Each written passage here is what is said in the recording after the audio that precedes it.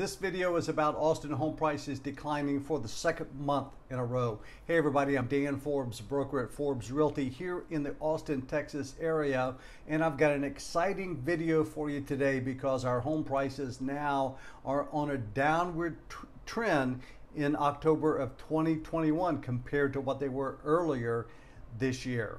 If this is your first time to my channel and you want to know everything there is to know about living and working and playing in Cedar Park or Leander, Texas, you've come to the right place. And it would mean the world to me if you would subscribe to my channel and hit the bell so that you'll be notified every week when a new video is posted. And if you like this video, smash that like button as well.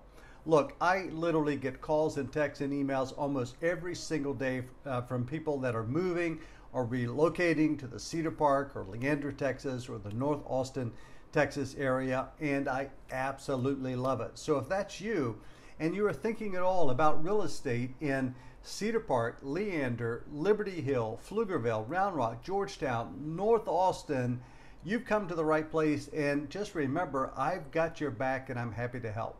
So let's get into today's video right after this.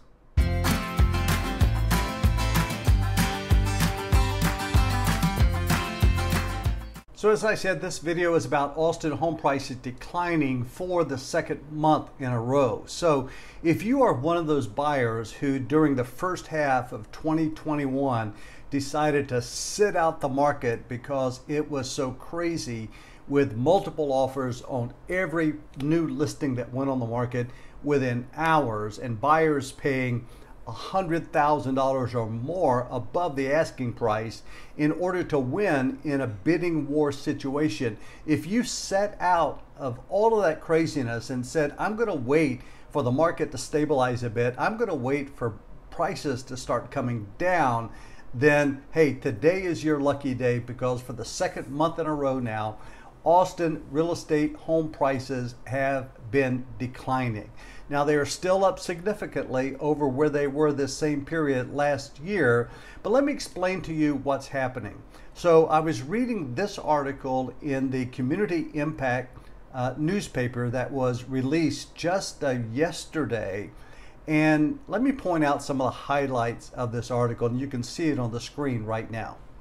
So the article is talking about how that the median home price in the central Austin area was 662,000 in September of 2021, just this last month, which was down $10,000 from the previous month where the median price was 672,000.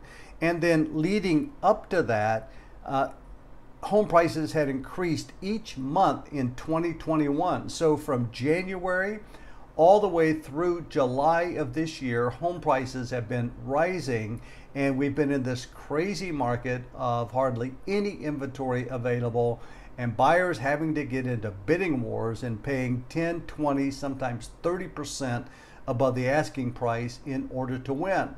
But the article goes on to say Right now, the median price last month surpassed that of September 2020 by 15.5%. So, in fact, the median price for September of 2021 is up 15.5% over the median price of September 2020, and that's in the central Austin market. Now, for the whole area around Austin, the entire greater Austin area is experiencing the same declining trend with the metro's median price dropping from 470,000 to 450,000 last month, which means it is up 28.5% year over year. What does this mean for buyers? I mean, should you continue waiting? Are prices going to drop lower here in the Austin market? What's going on? Well, what's going on is that our market is beginning to stabilize.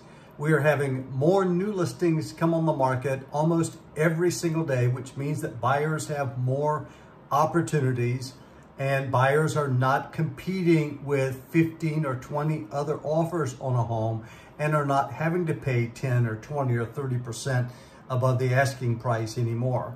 As a matter of fact, here in Cedar Park, we have 92 listings that are under contract right now. And those listings from the day it was listed to the day it was uh, put under contract was an average of 15 days on the market. Now that is still an extremely strong seller's market as compared to a neutral market where it would take about five months for a home uh, listing to go under contract. So it's still a seller's market. Prices are still going up. But what's happening is that buyers are not having to get into bidding wars as much with one another, and therefore they are not having to pay tens and twenty to thirty thousand dollars above the asking price in homes that are priced in the three, the four, the five hundred thousand dollar price range. So our market is stabilizing. Buyers have more opportunities.